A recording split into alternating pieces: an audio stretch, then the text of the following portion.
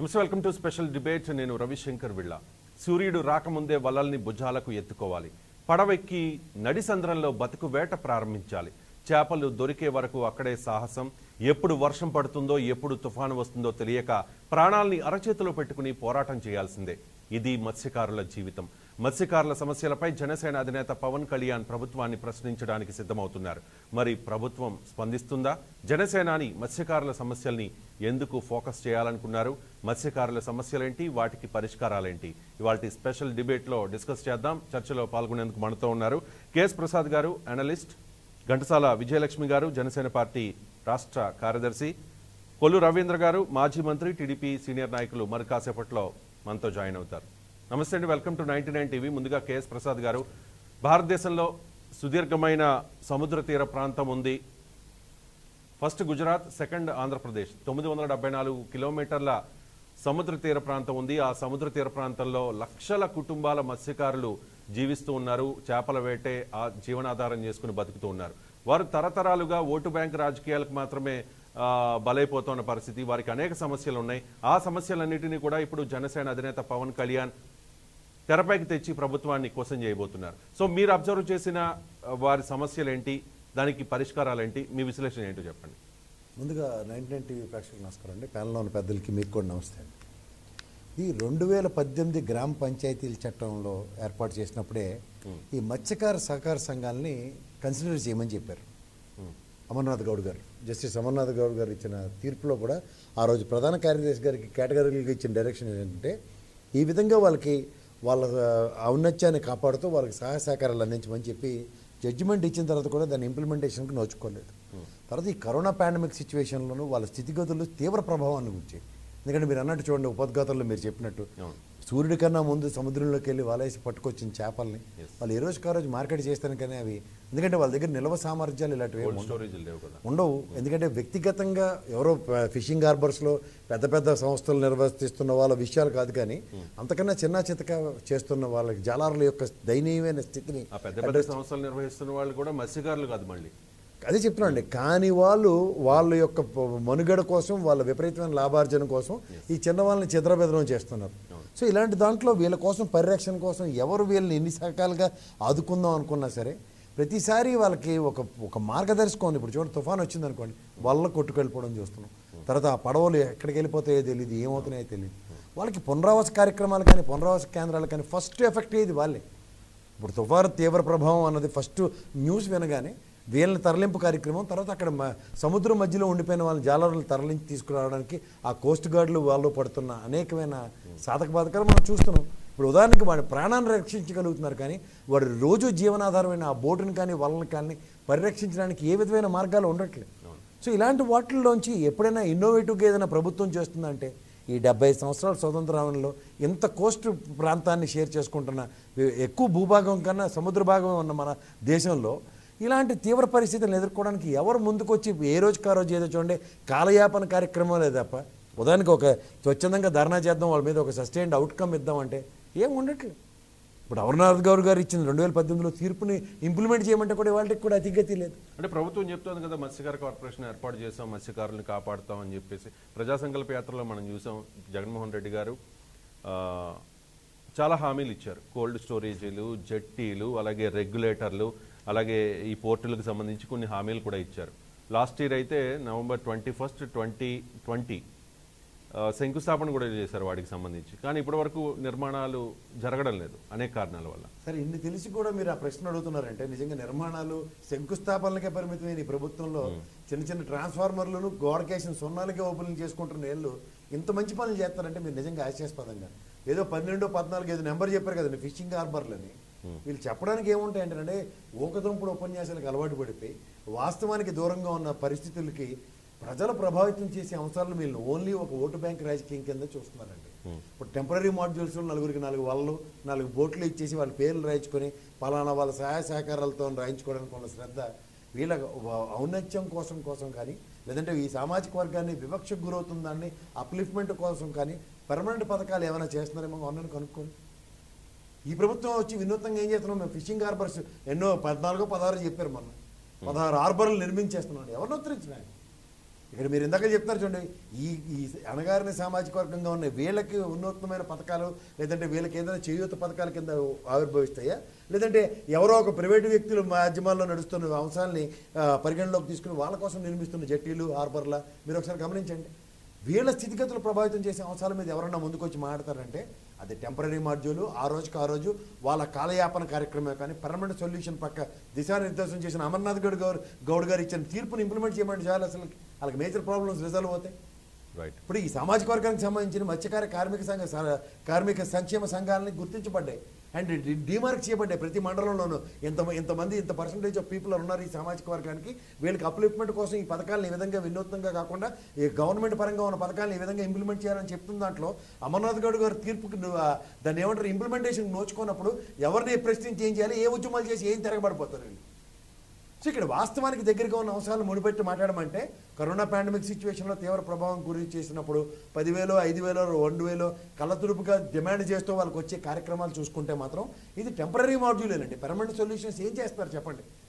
తుఫానుకి ఇవాళ వాడు రెక్కాడితే డొక్కాడిని రైతుతో సమానంగా ఉన్న ఈ మత్స్యకారుడు ఇవాళ నిత్యం వేటకెళ్ళి పది రూపాయలు సంపాదించుకోవడానికి చేస్తున్న వేపల వల్ల వచ్చే చేపల్ని అమ్ముకుని వాడు కాలయాపన చేసుకుంటున్న అతనికి అతనికి ఎప్పుడైనా సరే తీవ్ర ప్రభావం అంటే ఈ తుఫాను ఒడిదుడుకుల్లో వాడికి ఆశ్రయం కల్పించిన ఆ బోటు కానీ వల కానీ పోయినప్పుడు ప్రత్యామ్నాయంగా చేసే ప్రభుత్వం కానీ అయితే వాళ్ళకి ఇన్సూరెన్స్ కాన్సెప్ట్లో ఆ కుటుంబాలను కానీ ఆ బోట్లని వాటిని పరిరక్షించే విధానాలు కానీ అనుసంధానిస్తున్నారో చూడండి ఒకసారి. ప్రభుత్వ పరంగా ఏంటంటే ఓకదంపుడు ఉపన్యాసాలు ప్రభుత్వం మారే టైంకి వాళ్ళ కోసం వాళ్ళు సస్టైన్ చేస్తామని చెప్పడం వరకే పరిమితం అవుతున్నాయి కానీ ఎంత ఉంటుందండి ఆ పర్సంటేజ్ ఆఫ్ పీపుల్? వాళ్ళకి చేయవలసిన పనులు ఈ వన్ టూ త్రీ టెన్ కేటగరైజేషన్స్లో ఇంప్లిమెంట్ చేయడానికి ఎవరైనా ముందుకు వస్తున్నారో చూడండి. ఎవరు చేయరు. ఎంతసేపు వాళ్ళకి ఏంటంటే ప్రభుత్వంకి వ్యతిరేకంగా ఏమైనా మాట్లాడినట్టు మాలాట గలాలను నొక్కడానికి చూస్తారు కానీ వాళ్ళ పక్క స్వచ్ఛందంగా పోరాటాల్లో నుంచి అవుట్కమ్ ఏమైనా ఒక పది పాయింట్ బుల్లెట్ పాయింట్స్ రెడీ చేసి ఎవరైనా ఉద్యమం చేయమని చూద్దాం. ఎస్ ఇది ఇంప్లిమెంట్ చేయండి. అమర్నాథ్ గౌడ్ గారు ఇచ్చిన తీర్పు ఇది. ఈ సహకార సంఘాలకి ఈ విధంగా వినూత్న పథనాలో ప్రభుత్వం దీనికి ఎంత అలొకేషన్స్ కేటగరేషన్స్ గ్యారంటీగా ఉండాలి. ఈ కార్మిక సంఘాల పరిరక్షణ కోసం ఈ ప్రభుత్వం నిర్వహిస్తున్న విధానాలు ఏంటి? ఈ బెంచ్ మార్క్ని సెట్ చేసే ప్రతిసారి ఏ ప్రభుత్వం మారినా వీళ్ళ కార్యకలాపాలు నిర్వర్తించుకోవడానికి ఏ విధమైన ఆటంకాలు కలుగు చేయమని చెప్పమని చెప్పండి? అవి చెప్పకుండా ఎంతసేపు వాళ్ళు వెనకబడిపోయారు వాళ్ళకి ఏదో చేయాలని ఒక రోజు కార్యక్రమం లేదా పది రోజుల కార్యక్రమం ఉద్యమాలు కాదు కదా. పర్మనెంట్ సొల్యూషన్ ఎవరు ఇస్తారో కనుక్కోమనండి ఒకసారి. రైట్ ఘంటసాల విజయలక్ష్మి గారు జాయిన్ అయ్యారు జనసేన పార్టీ రాష్ట్ర కార్యదర్శి. విజయలక్ష్మి గారు మీరు కూడా కొల్లేరు ప్రాంతానికి చెందిన సారీ వెంకటలక్ష్మి గారు సారీ ఘంటసాల వెంకటలక్ష్మి గారు. మీరు కూడా కొల్లేరు ప్రాంతానికి చెందిన పర్సన్. సో కొల్లేరు ప్రాంతంలో చాలా మత్స్యకార కుటుంబాలు ఉంటాయి. అక్కడ పర్యావరణం దెబ్బతింటోంది. చాలా మంది మత్స్యకారులు కాకుండా వేరే వాళ్ళు అక్కడికి వచ్చి మీ మీకు చెందాల్సిన చెరువుల్ని వరదక్కించుకుని కబ్జాలు చేసి పర్యావరణాన్ని దెబ్బతీసి రకంగా చాలా రకాలుగా ఇబ్బంది పడుతున్న పరిస్థితి.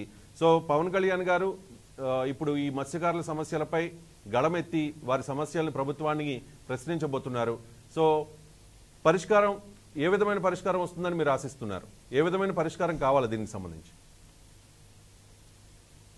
ముందుగా ఈ మత్స్యకారుల సమస్యల మీద ఒక డిబేట్ని కండక్ట్ చేసిన మన రవిశంకర్ గారికి ముందు 1990. ఏ, ప్రసాద్ గారు చక్కగా మత్స్యకారుల మత్స్యకారుల సమస్యలు ఎన్ని ప్రభుత్వాలు వచ్చిన వాళ్ళ సమస్యలు అలాగే ఉన్నాయి ఊకదంపుడు ఆ, ప్రసంగాలకే మాత్రమే పరిమితం అయిపోతున్నాయని చెప్పేసి మా మత్స్యకారుల సమస్యలని ఆయన మాట్లాడినందుకు అలాగే ప్యానెల్లో మా సోదరుడు మరి బీజేపీ వైస్ ప్రెసిడెంట్గా ఉన్న మా చంద్రమౌళి గారికి అలాగే మాజీ మంత్రి వర్యులు కొల్లు రవీంద్ర గారికి అందరూ మా మత్స్యకారుల సోదరులే మరి మత్స్యకారుల సమస్యల మీద వివిధ పార్టీలో ఉన్నప్పుడు కూడా మా ఎజెండా మత్స్యకారుల సమస్యల మీదే. ఆ, అందరికీ కూడా ముందుగా నమస్కారం. మత్స్యకారులు సమస్యల మీద మాట్లాడే ముందు మీరు అడిగింది కొల్లేరు సమస్య మీరు కొల్లేరు ప్రాంతవాసిగా మీరు అక్కడ ఉన్న ఆ, విషయాలు చెప్పమని అన్నారు. ఎన్ని ప్రభుత్వాలు మారినా మత్స్యకారుల బ్రతుకులు ఎలా మారలేదో అలాగే కొల్లేరు ప్రాంత పరిస్థితులు కూడా దశాబ్దాల వారీగా మేము ఇబ్బందులు పడుతూనే ఉన్నాము ఎంతో పెద్ద సరస్సు కొల్లేరు అనేది ప్రపంచంలో అతిపెద్ద మంచినీటి సరస్సు అని పేరుగాంచిన ఈ కొల్లేరు సరస్సు ఈ రోజున కనీసం మంచినీళ్ళు కూడా లేని పరిస్థితిలో మంచినీళ్ళు కొనుక్కునే పరిస్థితిలో ఈ కొల్లేరు ప్రాంత వాసులు ఉంటున్నారు. అలాగే వన్ ట్వంటీ జీవో తీసుకొచ్చి ఇక్కడ పర్యావరణాన్ని మేము కాపాడుతాము ఇక్కడ ప్రజలను జీవన స్థితిగతులని మేము మారుస్తాము అని చెప్పేసి జీవో తీసుకొచ్చారు సుప్రీంకోర్టు పరిధిలో నుంచి తీసుకుని వచ్చి. కానీ ఇప్పుడు చూస్తే ఎందుకని ఆ రోజున జీవో తీసుకురావడం జరిగింది?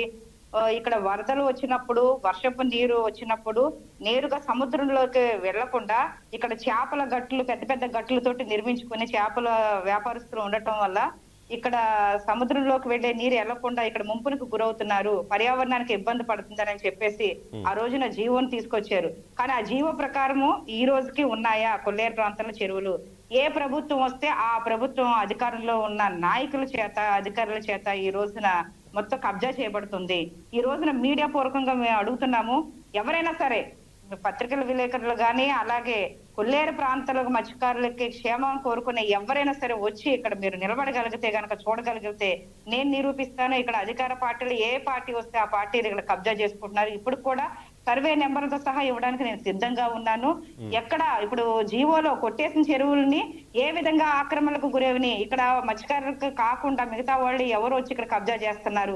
దీనికి ఫారెస్ట్ డిపార్ట్మెంట్తో సహా సహకరిస్తుంది. కొంతమంది మీడియా మిత్రులతో సహా వాళ్ళకి సహకరిస్తున్నారు. ఎందుకని చెప్పేస్తున్నా మేము అడుగుతున్నాము ఇక్కడ ప్రభుత్వాలకి అదే విషయాన్ని మేము గతంలో కూడా పవన్ కళ్యాణ్ గారిని తీసుకొచ్చి కొల్లేరు ప్రాంతంలో మేము మీటింగ్ పెట్టినప్పుడు ఇక్కడ సమస్యలన్నీ ఆయన మాట్లాడుతుంటే కూడా పాదయాత్రలో భాగంగా జగన్మోహన్ రెడ్డి గారు ఖచ్చితంగా ఇక్కడ రెగ్యులేటర్ అనేది నిర్మిస్తాము. ఎందుకంటే ముంపునికి గురవుతున్నారు. ఇక్కడ రెగ్- నీటిని నిల్వ చేయడానికి ఎగువ నుంచి వచ్చే నీటిని గాని అలాగే సముద్రం నుంచి దిగువకు వచ్చే నీటిని గాని ఆ నిల్వ చేయకుండా కొల్లేరు ముంపునికి గురవుతుంది కాబట్టి ఖచ్చితంగా రెగ్యులేటర్ అనేది నిర్మిస్తానని చెప్పేసి మేనిఫెస్టోలో కూడా పెట్టడం జరిగింది. ఈ రోజు కూడా రెగ్యులేటర్ నిర్మాణం ఏ దిశకు కూడా ఏ ఏ విషయం మీద కూడా ఇప్పుడు కదిపిన నాదుడు లేకుండా పోయాడు. అలాగే కొల్లేరు ప్రాంతాలు మాకు సాంప్రదాయ వేట చేసుకునే విధంగా కూడా ఎప్పుడు కొల్లేరులో నీరు నిలవ ఉండేలాగా మేము చేస్తామని చెప్పారు. సాంప్రదాయ వేట ఎక్కడ లేక దూర ప్రాంతాలకు వలస వెళ్ళిపోతున్నారు. ఇప్పుడు కొల్లేరు ప్రాంతంలో ఒకప్పుడు మత్స్యకారులు ఉండేవారట అని చెప్పుకునే పరిస్థితి ఈ రోజున నాయకులు తీసుకొస్తున్నారు మాకు. అందుకని ఖచ్చితంగా పవన్ కళ్యాణ్ గారు ఈ విషయం మీద స్పందిస్తారు కొల్లేరు ప్రాంతంలో. అలాగే మన ఉత్తరాంధ్ర పర్యటనలో భాగంగా కూడా మేము శ్రీకాకుళం విజయనగరం.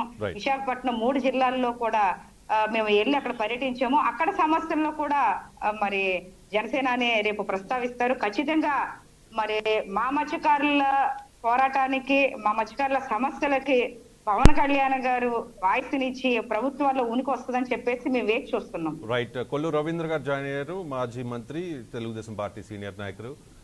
కొల్లు రవీంద్ర గారు నమస్తే అండి. Welcome to ninety nine TV మత్స్యకారులు అనేక సమస్యలు పడుతూ ఉన్నారు. వారికి తరతరాలుగా అన్యాయం జరుగుతూనే ఉంది.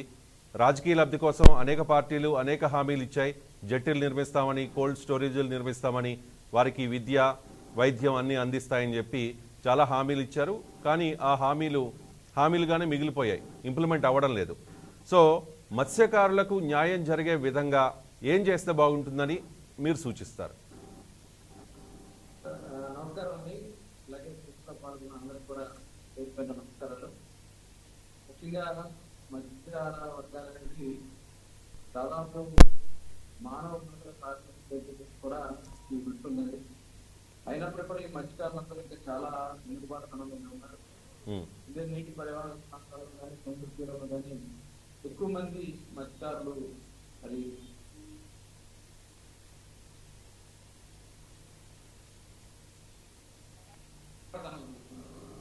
దానికోసం ప్రభుత్వాలు కూడా కృషి చేయాల్సినటువంటి అవసరం ఉంది. ఉమ్, మొట్టమొదట మరి అన్న నందమూరి తారక రామారావు వచ్చినాకనే చంద్రబాబు నాయుడు గారు చెప్పారు.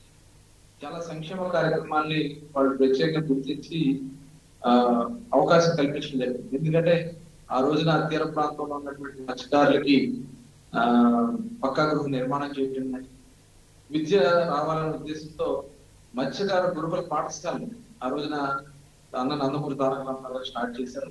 తర్వాత చంద్రబాబు నాయుడు గారు కూడా రెసిడెన్షియల్ స్కూల్స్ని పెద్ద ఎత్తున దాదాపు పది పదమూడు జిల్లాల్లో కూడా మత్స్యకార రెసిడెన్షియల్ స్కూల్స్ పెట్టడం జరిగింది. ఇది కాకుండా వృత్తి మీద ఆధారపడినటువంటి వాళ్ళకి ఏదైతే వేట నిషేధ సమయంలో వాళ్ళకి వేట వృత్తుండదు ఆ సమయంలో కూడా మనం వృత్తి కల్పించాలని చెప్పి మరి గతంలో బియ్యం మాత్రం ఇచ్చేవాడు. ఆ బియ్యాన్ని కూడా చంద్రబాబు నాయుడు లాస్ట్ టర్మ్లో ఆ, వృత్తి కూడా ఇవ్వడం జరిగింది. వాళ్ళ దాని పేరు మార్చి మేము ఇస్తున్నట్టు వాళ్ళు ఏదో చెప్తున్నారు కానీ అసలు ఫస్ట్ టైం ఆంధ్రప్రదేశ్ రాష్ట్రంలో మత్స్యకారులకి గుర్తించిన పరిస్థితి తెలుగుదేశం చంద్రబాబు నాయుడు గారు. ఇదే కాకుండా యాభై సంవత్సరాలకే కంటి చూపు కోల్పోతా ఉన్నాం దానికోసం యాభై సంవత్సరాలకి పెన్షన్ స్కీమ్ని ఈరోజు అమలు చేశాం. కానీ దీన్ని కూడా కట్ చేయడానికి మీకు రైతు భరోసా వస్తుందనో లేకపోతే ఇంకొక పథకం వస్తుందని చెప్పి అవన్నీ కట్ చేసే కార్యక్రమాన్ని ప్రభుత్వం చేస్తాం ఒక కుటుంబం ఇద్దరు ముగ్గురు అదే వృత్తిలో ఉంటారు. ఒకే పడవ మీద తండ్రి వెళ్తాడు కొడుకులు వెళ్తారు. కానీ తండ్రికి వస్తుంది కాబట్టి కొడుకులు కట్ చేయడం ఇలాంటివి కొద్దిగా ఇబ్బంది పరిస్థితులు ఉన్నాయి. అలాగే తీర ప్రాంతంలో ఇల్లు కట్టుకోవాలంటే అదనంగా మనం డబ్బులు కూడా ఇచ్చి ఎందుకంటే అక్కడ యూస్ సాయిల్ ఉంటుంది ఫౌండేషన్ కట్టకపోతుంది అప్పుడు ఇవ్వడం జరిగింది.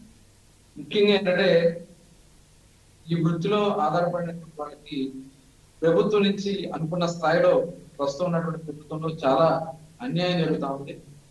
ఇవాళ పడవలు గతంలో మన పడవలు ఇచ్చేవాళ్ళం వలలు ఇచ్చేవాళ్ళం.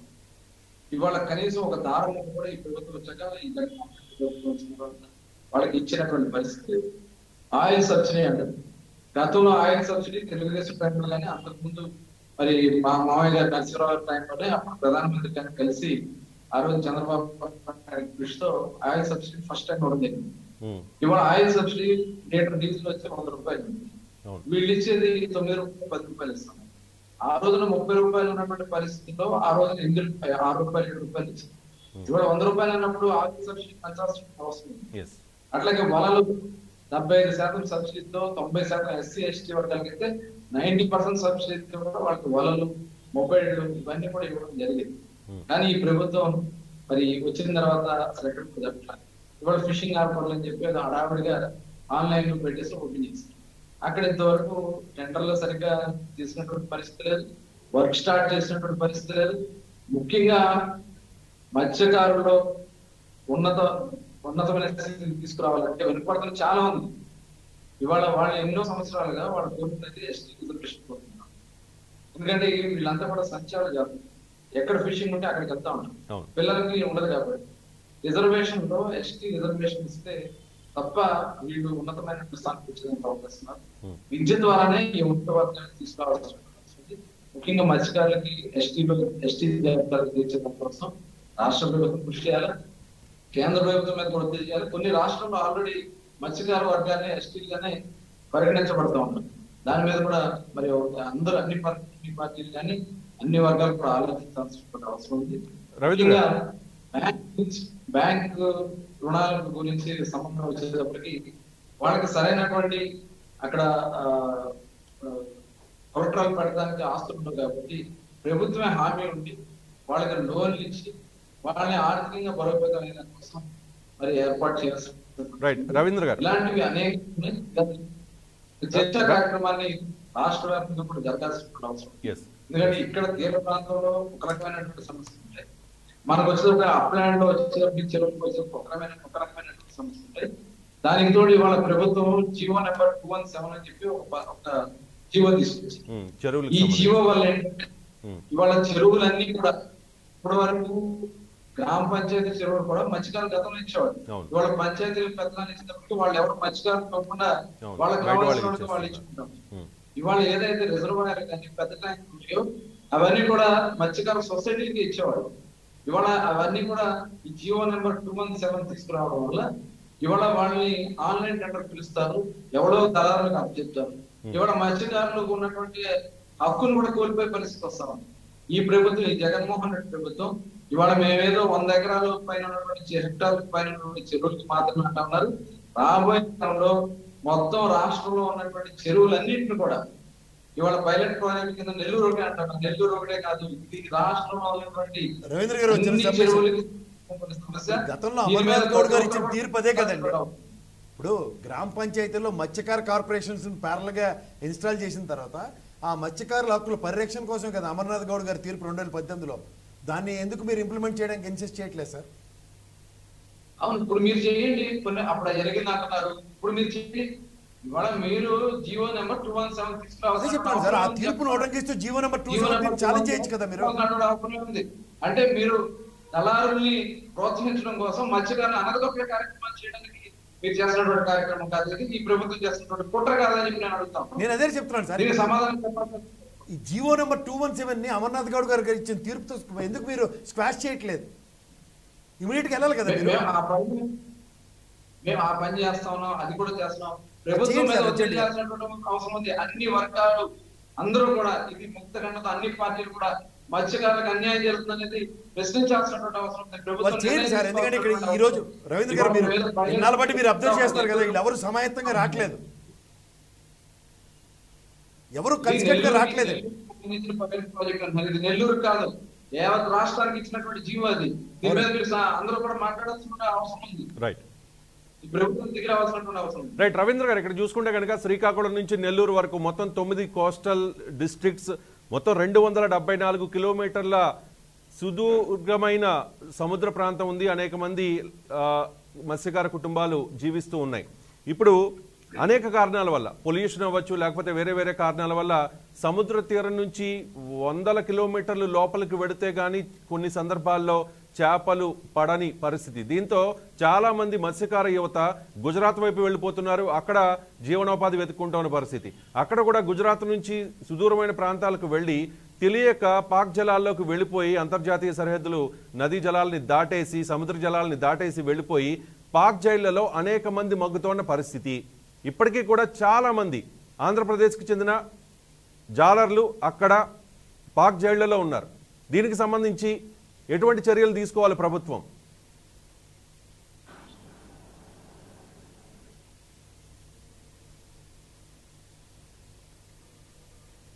అందరికీ నమస్కారం అండి. ఇప్పుడు ఇంతసేపు మాట్లాడడం తగిన తర్వాత దీని స్థూలంగా మన యొక్క వ్యవస్థలోనే లోపం ఉందనే విషయం ఫస్ట్ మనం గుర్తించాల్సినటువంటి అవసరం ఉంది. ఈ మత్స్యకార ఏదైతే పరిశ్రమ కానీ వ్యవస్థ ఏదైతే ఉందో మూడు రకాలుగా విభజించవచ్చు ఒకటి పొట్టకూటి కోసం పెట్టేటువంటి మత్స్యకారులు ఒకరు. రెండు చిన్న మత్స్యకారులు అంటే రెండు ఎకరాలు మూడు ఎకరాలు ఫార్మింగ్ చేసేటువంటి చిన్న మత్స్యకారులు ఒకరు. మూడో ఒకరు పెద్ద పెద్ద అయినటువంటి కార్పొరేట్ వ్యవస్థలుగా రూపొందించుకున్నటువంటి పెద్ద మత్స్యకారులు. ఈ మూడు రకాలుగా ఉన్నటువంటి విభజన ప్రస్తుతం ఈ దృశ్య ప్రతి ఒక్క సమస్యను ఆలోచించాల్సినటువంటి అవసరం. మీరు బడ్జెట్ కేటాయింపులు చూస్తే ఫర్ ఎగ్జాంపుల్ వెయ్యి కోట్ల రూపాయలు కేటాయించారనుకుంటే తొమ్మిది వందల యాభై కోట్ల రూపాయలు కేవలం ఒకే వర్గానికి పోతున్న మాట వాస్తవమా కాదా? ఇది మనం కూడా ఈ విషయం ఆలోచించాల్సినటువంటి అవసరం ఉంది. కాబట్టి ఈ మత్స్యకారుడి యొక్క సగటు యొక్క వాడికి గవర్నమెంట్ అది రాష్ట్ర ప్రభుత్వం కావచ్చు కేంద్ర ప్రభుత్వం కావచ్చు పెట్టిస్తున్నటువంటి డబ్బుల విషయం చూస్తే ఈ కింది స్థాయికి వచ్చేది చిన్న చిన్న డీజిల్ సబ్సిడీ కావచ్చు వలలు కావచ్చు బోట్లు కావచ్చు ఇవన్నీ కూడా not even two to five percent budget వరకు కూడా జరుగుతుంది మిగతాది కూడా మేజర్ ఇన్ఫ్రాస్ట్రక్చర్ ఇవన్నీ కూడా సరిపోతుంది ఒక చిన్న ఎగ్జాంపుల్ చెప్తాను సార్. మత్స్యవృత్తి పేరు మీద పదివేల రూపాయలు ఇస్తున్నారు సార్. ఈ మత్స్యవృత్తి ఎందుకు ఇస్తున్నారంటే ఒక మెకనైజ్డ్ బోట్ మామూలుగా ఉన్నటువంటి సాధారణ వాడు వాడికి వ్యాపారం లేకుంటే చేపలు పట్టడకుంటే వాడికి ఆకలితో మలమడి మాడి దత్తాడు కాబట్టి మూడు నెలల కోసం వాడి వృత్తి కోసం పదివేల రూపాయలు ఇస్తున్నారు. కానీ ప్రభుత్వం యొక్క పాలసీ చూస్తే ఈ ట్రాలీలో ఉన్న వాళ్ళకి కావచ్చు ఆటోమేటెడ్ బోట్స్లో ఉన్న వాళ్ళచ్చు వీళ్ళకు సంబంధించిన వాళ్ళకు కూడా మత్స్యకార వృత్తిని అవలంబిస్తున్నారు. అంటే యాక్చువల్గా వాళ్ళు ఒక కార్పొరేట్ వ్యవస్థలో పనిచేస్తున్న వాళ్ళు కోట్లాది రూపాయల లాభాలు ఆర్జిస్తున్నటువంటి వ్యవస్థలు ఉన్నాలో వాళ్ళ యొక్క స్టాఫ్ కూడా మత్స్య వృత్తికి ఇవ్వడం ఏదైతే ఉందో అది దుర్మార్గమైనటువంటి చర్య అండి. ఈ ప్రభుత్వము ప్రస్తుతానికి లక్ష ముప్పై వేల మందికి మేము మత్స్యకార వృత్తి ఇచ్చినామనేటువంటి మాట చెప్తున్నారండి. ఇంకా యాక్చువల్గా మీరు యొక్క ఏ యొక్క మత్స్యకార గ్రామానికైనా వెళ్ళండి. మినిమం ముప్పై నుంచి నలభై శాతం మందికి ఇప్పటికీ కూడా ఆల్రెడీ ఎన్రోల్ అయిన వాళ్ళకు కూడా ఇప్పటికి కూడా అది రాలేదు. దానికి సంబంధించిన ఎన్రోల్మెంట్ జరగలేదు దానికి సమాధానం చెప్పేవాడు కూడా ఎవరు లేరు. ఇది ఒకటి. కేంద్ర ప్రభుత్వము ప్రత్యేకమైనటువంటి మంత్రిత్వ శాఖ ఏర్పాటు చేయడంతో పాటు బడ్జెట్ ఏర్పాటు చేస్తుంది ఇది వాస్తవం. కానీ రాష్ట్ర ప్రభుత్వము ఈ ఫెడరల్ సిస్టంలో దానికి సంబంధించినటువంటి మ్యాచింగ్ గ్రాంట్ ఫర్ ఎగ్జాంపుల్ అరవై శాతం కేంద్ర ప్రభుత్వం ఇస్తే ముప్పై శాతం రాష్ట్ర ప్రభుత్వం పది శాతం బెనిఫిషరీ ఇట్లా ఈక్వేషన్స్ ఉన్నాయి రాష్ట్ర ప్రభుత్వము ఈ ముప్పై శాతం కూడా పెట్టని కారణంగా కోట్లాది రూపాయల పథకాలన్నీ కూడా వెనక్కి వెళ్ళిపోతున్న మాట వాస్తవం. ఇది మొట్టమొదటిసారి మనందరూ కూడా గుర్తించాల్సినటువంటి అవసరం. రెండు అది ఏ యొక్క పథకం? వలలు కావచ్చు బోట్లు కావచ్చు డీజిల్ సబ్సిడీ కావచ్చు ఇప్పుడు కొత్తగా ప్రారంభిస్తున్నటువంటి ఈ ఫిష్ హార్బర్లు కావచ్చు వీటన్నిటి యొక్క దుస్థితి ఏమంటే రాష్ట్ర ప్రభుత్వం తన వంతు వాటాను ఇవ్వని మూలంగా గత రెండు సంవత్సరం నరగా అన్ని పథకాలు కూడా అటకెక్కాయి ఇవైతే వాస్తవం. ఈ నేపథ్యంలో రాష్ట్ర ప్రభుత్వం కేవలం మత్స్యశాఖే కాదు మిగతా అన్ని రంగాల్లో అది మటన్ కావచ్చు ఇసుక కావచ్చు మద్యం కావచ్చు వీటన్నిటి కూడా ఒక ఆదాయ మార్గాలను వెతుకుతూ వాళ్ళు ఈ యొక్క పేదవాడి గురించి ఆలోచించేటువంటి వంద హెక్టార్ల లోపల ఉన్నటువంటి ఈ యొక్క ఫిషరీస్ సొసైటీ మీద పడడం ఏదైతుందో అది అత్యంత దుర్మార్గమైన రాజమౌళి గారు రాజమౌళి గారు సారీ చంద్రమౌళి గారు ఇక్కడ చాలా మంది వలస వెళ్ళిపోతూ ఉన్నారు. ఇంతకు ముందు నేను క్వశ్చన్ అడిగాను. శ్రీకాకుళం నుంచి నెల్లూరు వరకు చాలా మంది వలస వెళ్ళిపోతూ ఉన్నారు. అక్కడ చాలా ఇబ్బందులు పడుతూ ఉన్నారు. పాక్ జలాల్లోకి తెలియకుండా వెళ్ళిపోవడం వల్ల పాక్ జైలులో అక్కడ మగ్గుతూ ఉన్నారు. సో వాళ్ళని తీసుకురావడానికి ఎటువంటి చర్యలు లేవు. రీసెంట్గా జగన్మోహన్ రెడ్డి గారు ప్ర- ప్రభుత్వం వచ్చిన తర్వాత కొంతమందిని తీసుకొచ్చారు. ఓకే. కానీ ఇంకా వేల మంది ఉండిపోయారనేది లెక్కలు గణాంకాలు చెప్తున్న పరిస్థితి. సార్ ఇది ఇది వాస్తవం కాదండి. గత కరెక్ట్ మూడు రోజుల క్రితం పాక్ జైల్లో ఉన్నటువంటి ఇరవై మందిని తీసుకుని రావడం జరిగింది ఇది ఎందుకంటే రెండు బయలాటర్స్కి Character సంబంధించినటువంటి assassination చేసే. పరిస్థితికి వచ్చారంటే- కేసులు ఉంటాయి వీళ్ళ మీద కేసులు ఉంటాయి విచారణ జరుగుతుంటది కాబట్టి. వంతుల వారిగా మోడీ గారు స్పష్టమైనటువంటి స్టేట్మెంట్ నాలుగు రోజుల క్రితం ఇవ్వడం జరిగింది ఈ ఇరవై మంది రిలీజ్ అయిన సందర్భంగా వారు ఇవ్వడంతో పాటు వారికి ఒక్కొక్కరికి ఐదు వేల రూపాయలు ఇచ్చి వాళ్ళ స్వగ్రామాలకు చేరడానికి పంపించిన మాట జస్ట్ మూడు రోజుల క్రితమే జరిగింది ముఖ్యంగా మనం ఆలోచించాల్సింది ఏమంటే దేశవ్యాప్తంగా ఈ రంగంలో వస్తున్నటువంటి మార్పులకు అనుగుణంగా మన రాష్ట్రంలో ఉన్నటువంటి ఈ మత్స్యకారులకు సంబంధించినటువంటి స్కిల్ అప్గ్రేడేషన్ లేకపోవడం కానీ టెక్నాలజీ కానీ దానికి సంబంధించినటువంటి వ్యవస్థ లేకపోవడం కారణంగా ఇంతకుముందు పాలమూరు కూలీలు బయటకు వెళ్ళిపోయేవాళ్ళని మనం అందరం బాధపడే వాళ్ళం ఇప్పుడు ప్రస్తుతానికి ఉత్తరాంధ్రకు సంబంధించినటువంటి వేలాది మంది మత్స్యకారులు గుజరాత్ తీర ప్రాంతంలో మనం చూస్తున్నాం. ఎందుకంటే గుజరాత్ ఒక్కసారి మనం ఇక్కడ చూస్తుంటే అక్కడ ఉన్నటువంటి కేంద్ర ప్రభుత్వం యొక్క పథకాలను ఎంత ఎఫెక్టివ్గా వాడుకున్నారనే విషయం కావచ్చు కోల్డ్ స్టోరేజ్ విషయంలో కావచ్చు ఫిష్ హార్బర్లు కావచ్చు. సో అక్కడ వారికి ఆదాయం ఎక్కువ వస్తుంది కావాలన్నా మన దగ్గర ఉన్నటువంటి వాళ్ళందరూ కూడా వాడు కాబట్టి ఇప్పుడు ప్రస్తుతం మన ముందు సంబంధించినటువంటి రైట్ చంద్రబాబు నాయుడు కొద్దిసేపటి క్రితం అసెంబ్లీలో చాలా భావోద్వేగంతో మాట్లాడారు. తాను మళ్ళీ ముఖ్యమంత్రి అయిన తర్వాతే సభలో అడుగు పెడతానని చెప్పారు. బయటకు వెళ్ళిపోయిన తర్వాత మీడియాతో మాట్లాడుతున్నారు. లైవ్ చూద్దాం. పనులు చేయండి. రాష్ట్రానికి ఏదైనా మంచి పనులు చేయండి చాలని చెప్పేవాడిని. ఆ విధంగా దేశం కోసం పనిచేసాం తప్ప స్వార్థం కోసం ఎప్పుడూ ఆలోచించలేదు. అబ్దుల్ కలాం లాంటి వ్యక్తిని రాష్ట్రపతిగా చేసినప్పుడు కూడా ఒక హ్యాపీనెస్ ఫీల్ అయ్యాం. కానీ ఈరోజు ఒకసారి అనిపిస్తుంది. మనం చరిత్ర కూడా చూస్తే చాలా బాధ కలుగుతుంది. మైథలాజికల్గా కొన్ని ఉన్నాయి. నిండు కౌరవ సభలో ద్రౌపదికి అన్యాయం చేయడం అవమానం చేయడం అందులో కూడా పాండవుల సమక్షంలో అవమానం చేయడం.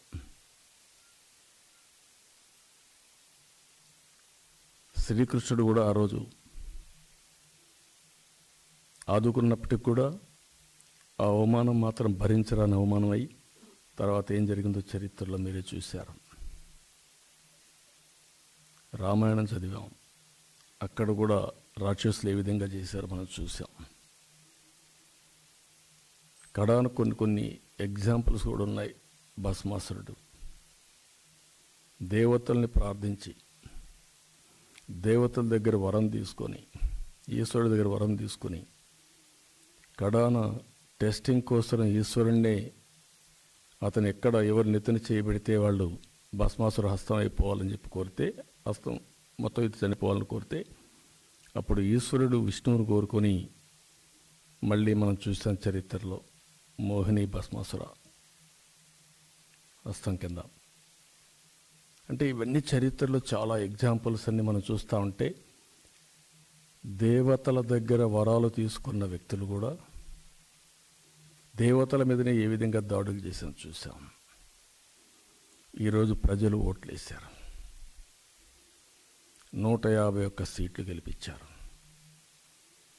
మమ్మల్ని ఇరవై మూడు సీట్లే గెలిపించారు. నేను ఆ రోజు కూడా బాధపడలేదు. నేను ఏ తప్పు చేశానో నాకు తెలియదు అప్పటికి కూడా.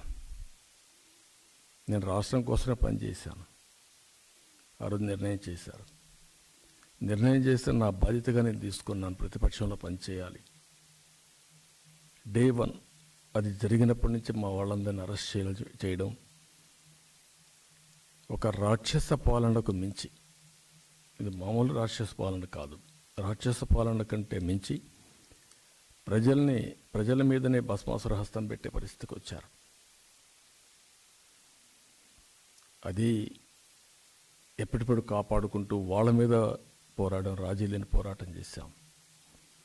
ఆ తర్వాత పోరాటం చేసే తెలుగుదేశం పార్టీ పైన ఎన్ని ఇబ్బందులు పెట్టాలని ఇబ్బందులు పెట్టారు.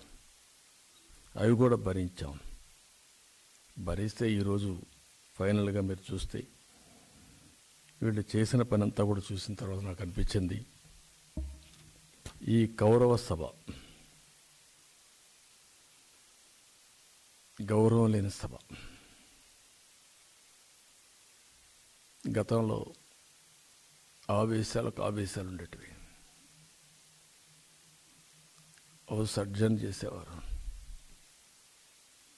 మళ్ళీ సమావేశం పెట్టుకోవడం కానీ స్పీకర్ పిలిపించడం కానీ ఎవరు తప్పు ఉంటే వాళ్ళ తప్పు చెప్పడం ఒకసారి రాజశేఖర్ రెడ్డి మా తల్లిని గురించి దూషించాడు. నేను ఆ రోజు గట్టిగా చెప్పాను. గట్టిగా నేను అతన్ని ప్రశ్నించే పరిస్థితికి వస్తే కడాన పాలేజ్ చెప్పాడు. తప్పు జరిగింది. క్షమించమని అడిగాడు. అలాంటిది ఈరోజు ఇన్ని సంవత్సరాలు సమైక్య ఆంధ్రప్రదేశ్లో ఎక్కువ సమయం ముఖ్యమంత్రిగా ఉన్నా. అపోజిషన్ లీడర్గా పదేళ్ళు ఉన్నా. మళ్ళీ ఇక్కడ ముఖ్యమంత్రిగా అపోజిషన్లో ఉన్నా. నేను స్పీకర్కి చెప్పి నాకు అన్యాయం జరిగింది. నా మిస్సెస్ విషయం తీసుకొచ్చారు. నేను భరించలేకపోతున్నాను. నేను ఒక నిర్ణయం చేసుకున్నాను. నా అనౌన్స్మెంట్ చెప్పాలనుకుంటున్నాను. టైం ఇమ్మని రిక్వెస్ట్ చేశాను. ఈయన ఎక్కడి నుంచో రాలా. నా దగ్గరనే మంత్రిగా చేశాడు. గతాన్ని పూర్తిగా మర్చిపోయాడు. ఆయన నేను ఫేవర్ అడగలా ఇది నా హక్కు. తరిమిల నాగిరెడ్డి లాంటి వాడు. అసెంబ్లీ వేదికగా చేసుకుని స్టేట్మెంట్ ఇచ్చిన తర్వాత వెళ్ళాడు.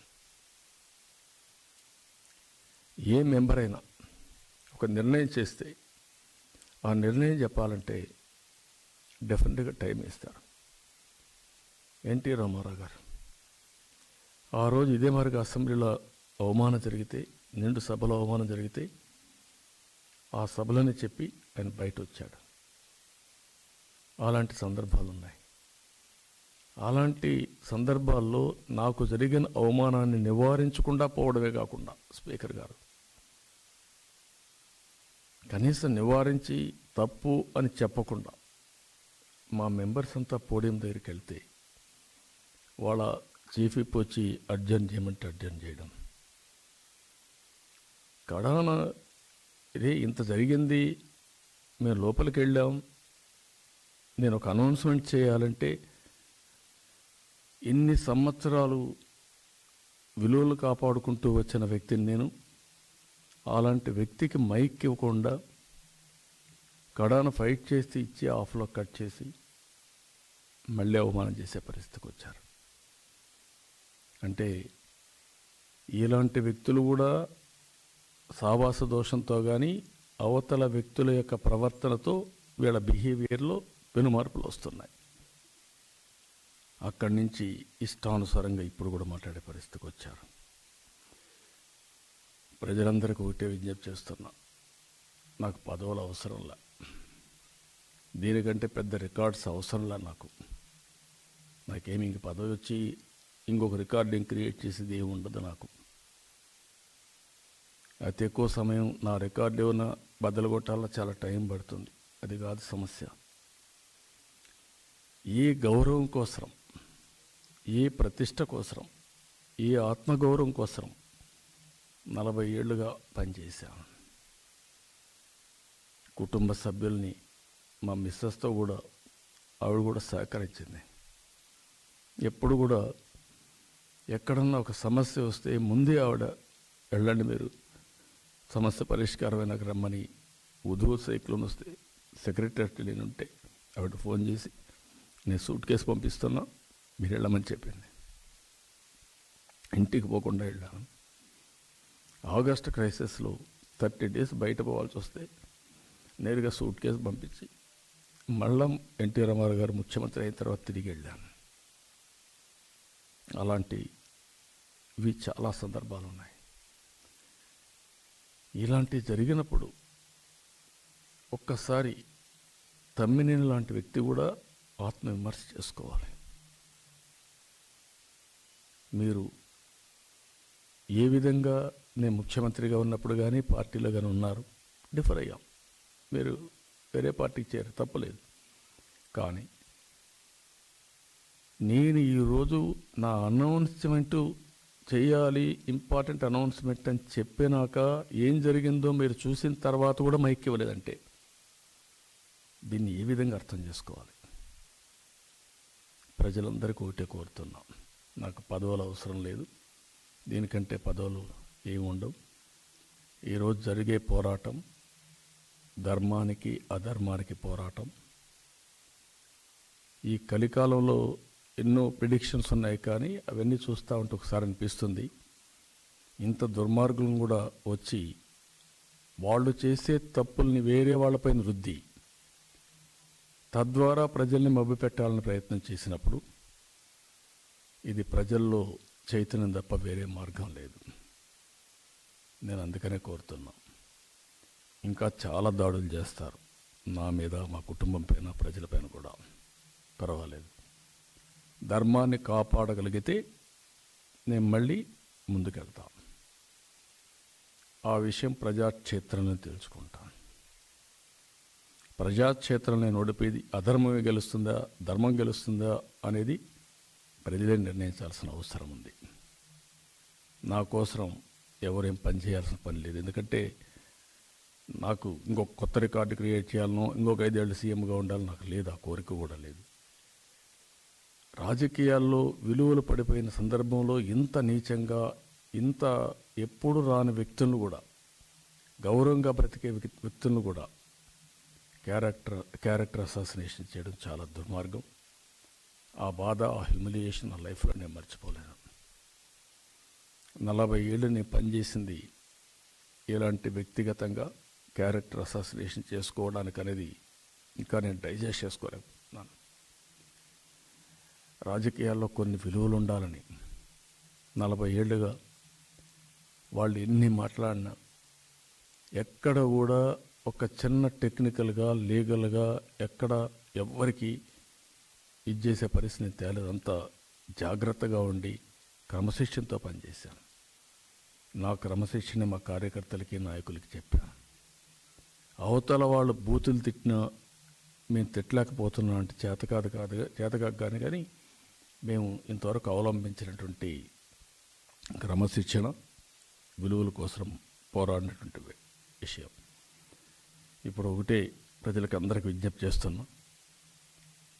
ఈ ధర్మ పోరాటంలో మీరు సహకరించండి.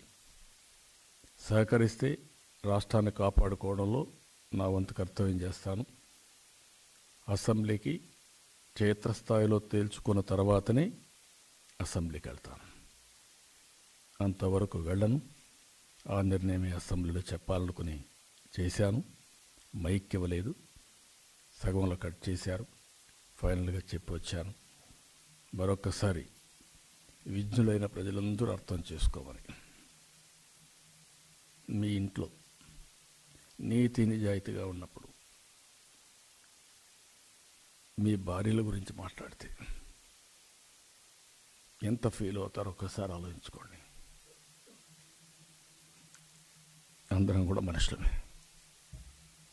అదే నా బాధ.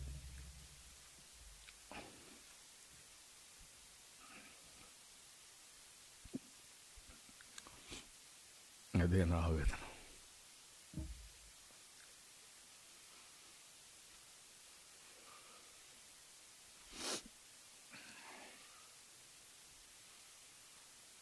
ఎప్పుడు ఓడిపోయినప్పుడు కూడా నేను ఇంత బాధపడలేదు. మీరు నన్ను చూసుంటారు. ఏ క్రైసిస్ కూడా సునాయాసంగా హ్యాండిల్ చేశాను. ఓకే థ్యాంక్ యూ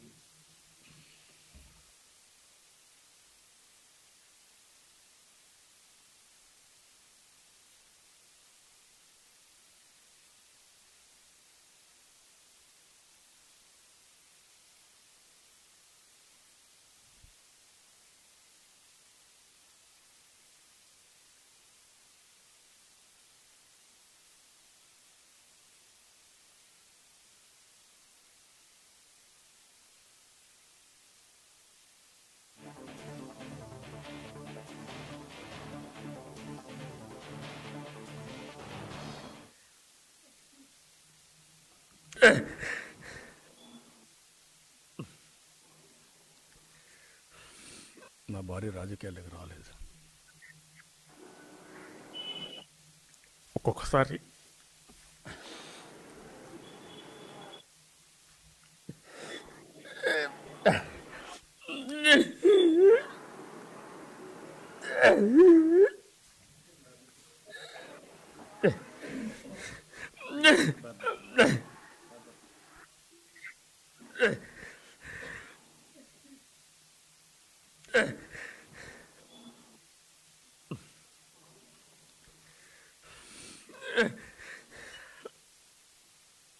నా రాజకీయాలకు రాలేదు. ఒక్కొక్కసారి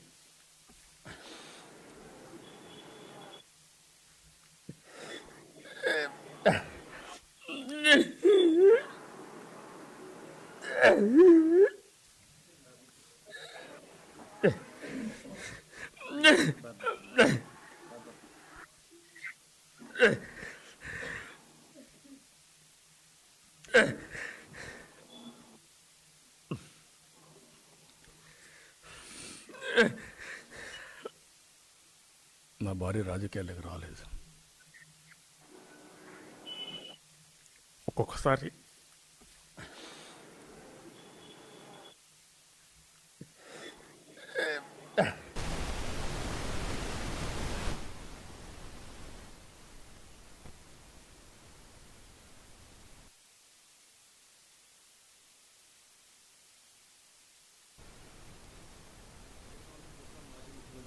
నేత చంద్రబాబు నాయుడు చాలా భావోద్వేగంతో మాట్లాడారు ఆ, తన కుటుంబాన్ని అలాగే తన భార్యను కూడా సభలో నిందించారు దూషించారు అంటూ చాలా భావోద్వేగానికి గురయ్యారు. కంటతడి కూడా పెట్టారు.